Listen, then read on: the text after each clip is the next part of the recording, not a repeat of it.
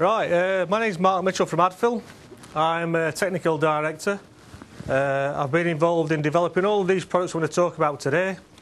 I'm also a concrete technologist, so I'm a technical manager with a big ready-mix concrete company for about 10 years. So I know about concrete, I know about developing fibres. I also been involved in selling into big products, into big projects, so I know everything. So you can ask anything afterwards. Earlier, Ian answered a question about SemFlow. We're using micro macro. It can actually be done. We've actually developed a system with another, uh, another concrete company.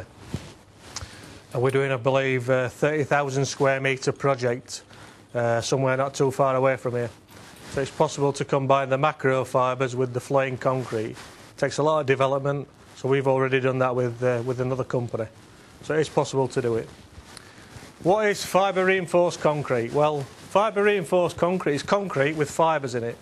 It can be steel fibres, macro synthetic fibres or fine fibres. It doesn't matter which one it is, it's all called fibre reinforced concrete. The key is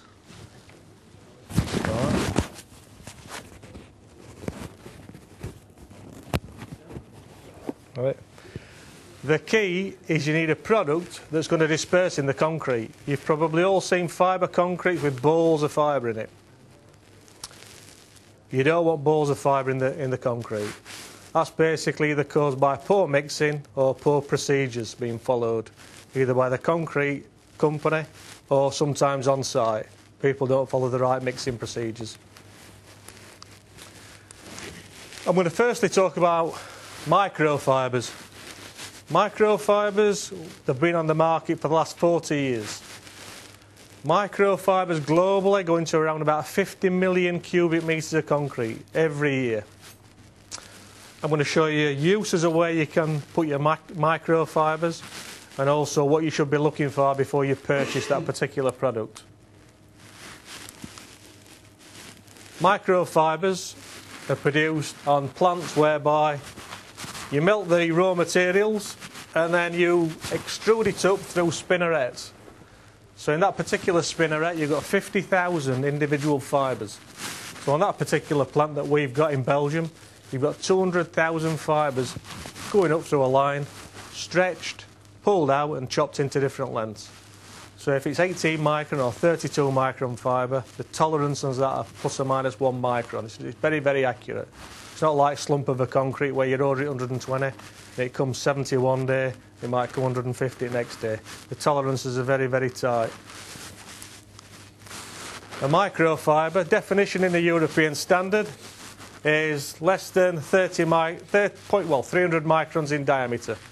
So, but the typical products are typically anywhere between 15 to sort of 50 microns in diameter. It's just to cover everybody in Europe because in different countries you use different thicknesses for different applications. The other material that you're probably familiar with is in semi-dry screeds. There's a propensity to use fibrillated fibres. Again, it's less than 0.300, well, 300 microns in diameter, but typically these are sort, sort of rectangular in shape, and the average dimensions are between 100 and 150 microns. Just to give you an idea how it compares to human hair. Human hair is on the right hand side, monofilaments on the left hand side, and a fibrillated tape in the middle. So it's important that when you order fibres for concrete, and sometimes it goes wrong, you order the wrong fibre for the job, and then you complain to your concrete supplier or to us until you've got a hairy finish on the concrete, you can't finish it, the concrete's unworkable. So it's important to know which type of fibre you need for what particular application. You should also be looking for products produced with a CE mark. In Europe, everybody has to use a CE mark for a polypropylene or a steel fibre. In the UK, you still don't need a CE mark. You don't need a CE mark for plastic or steel fibres until 2013. But as a European and a global supplier, we would recommend that you make sure you've got CE marks on every product before you use it in the concrete.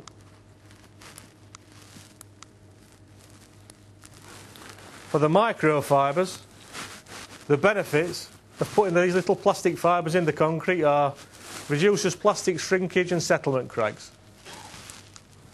Increased abrasion resistance. I think somebody asked a question earlier how Diamondcrete compared to normal concrete.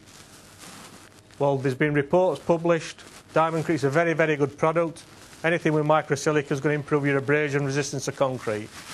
A lot of these types of concretes also have polypropylene fibres in there because these types of concretes have a propensity to show plastic shrinkage cracks. And the reason for that is because there's less bleed in these types of concretes because they've got really, really fine powders. You've also got improved impact resistance. So a lot of external yards where you've got lorries going on these yards, you want to have improved abrasion resistance where you've got lorries turning and slowing around. And also you want to prevent damage caused by dolly wheels and other damage caused by forklifts picking up a pallet and dropping it on the slab. So these products are ideal for impact and abrasion resistance. Also quite controversially, but we've been doing this for the last 14 years, improved freeze-thaw resistance.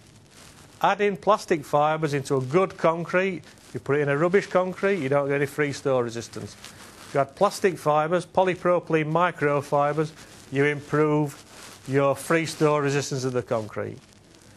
We've been supplying fibres into about 500,000 cubic metres of concrete in this country just for that purpose. You can also get reduced water permeability because it reduces bleed channels developing in the concrete. And if you've got less cracks, you've got less penetration of liquids and water into your concrete. And lastly, probably the largest use of this type of fibre is to reduce explosive spalling in concrete. So people think, well, concrete doesn't explode. We're having a look on, on here, and they've actually written a guide, the Concrete Society, about assessment, design and repair of fire-damaged concrete structures. So there's lots of fires. Concrete explodes, it's damaged, you either have to repair it, or you can use polypropylene fibre and it will reduce that damage. I'm going to show you a video clip of what happens to concrete exposed to a fire.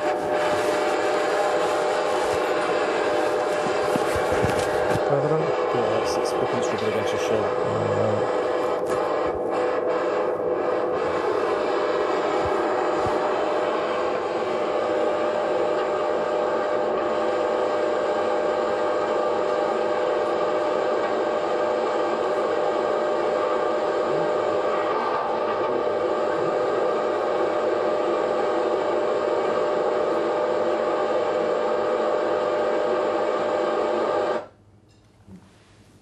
So, who amongst you thought that concrete were good at resisting fire?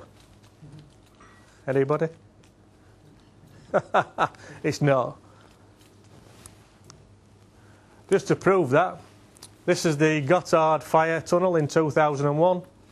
As you can see, all swathes of concrete explode away from the surface and you get structural failure.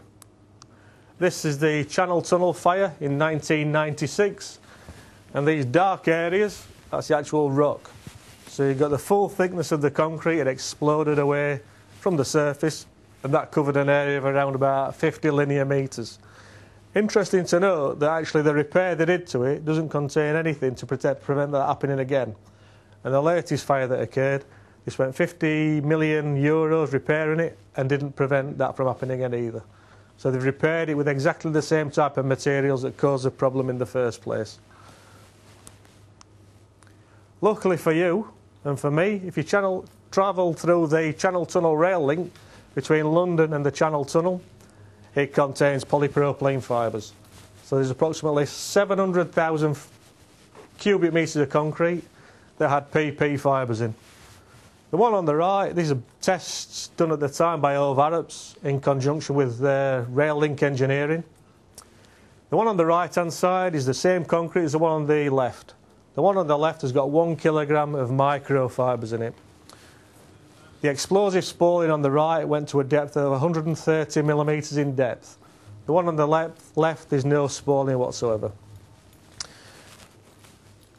Our rail link engineering were probably the first major tunnel globally that went with this particular system. Since then, every tunnel in China, Hong Kong, Australia, North America, the UK and Europe is using microfibres to reduce explosive spalling. Also, if you look at Eurocode 2, there's a section in there for high-rise buildings where you've got a compressive strength above a C60. They recommend you use a polypropylene fibre to reduce explosive spalling in case there's a fire within, within a building. Potential areas of use where these particular fibres are used are refractories, high-rise buildings. So we've done some jobs in conjunction with BASF